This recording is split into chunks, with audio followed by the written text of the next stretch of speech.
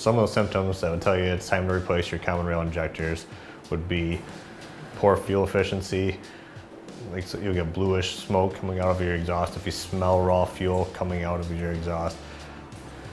If you ever notice fuel in your oil, because you have potential for excess fuel getting put into your cylinders and then dropping down into your crankcase or return leaks into, if it's underneath the valve cover, into your crank that way.